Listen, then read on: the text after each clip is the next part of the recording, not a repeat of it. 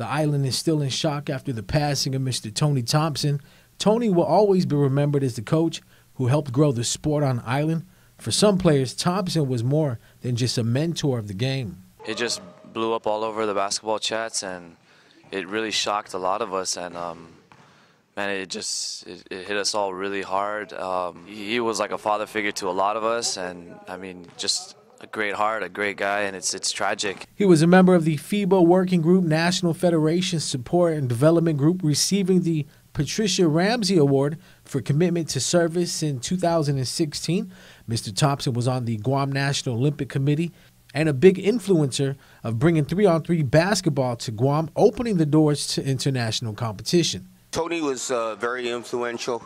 He brought basketball uh, to the next level. Um, from all aspects, you know, uh, being a representative from the FIBA, uh, the president of the Guam Basketball Confederation. FIBA Oceania President Burton Shipley said Tony is best known in the world of basketball as coach of the Guam teams at many Oceania championships. He then transitioned to mentoring the next generation of Guam coaches, always looking to provide others around him with the opportunity and support to reach their potential. For those that are old enough to remember, Mr. T was also pretty nice on the court, too. He was a hard worker. He did the things that we asked him to do, most especially rebound. And Tony he never backed down, you know, of, of everything he, um, even everything he, he, did after basketball, whether it be coaching, whether it be the principal of um, FD. He was really good man, good family man.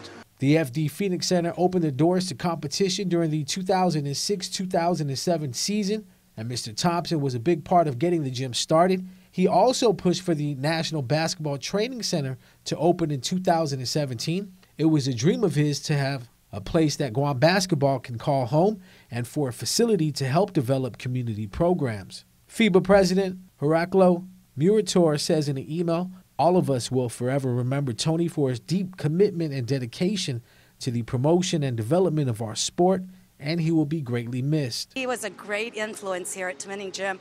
Uh, when I first started my program, one of the things that was really magical for the kids was when he brought over a professional shooting coach named Eddie Kallick. So from there on, he really inspired myself with GuamBasketball.com and the Tamuning Typhoons Basketball Club to work hard and work with the kids because it was all about the kids.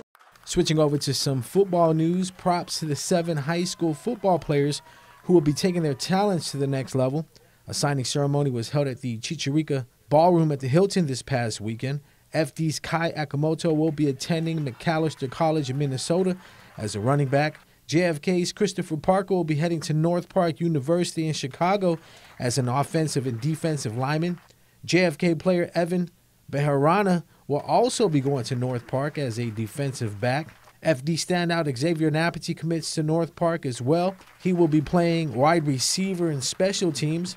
Guam High's Will Sanders will be attending Moorpark College in California as a wide receiver.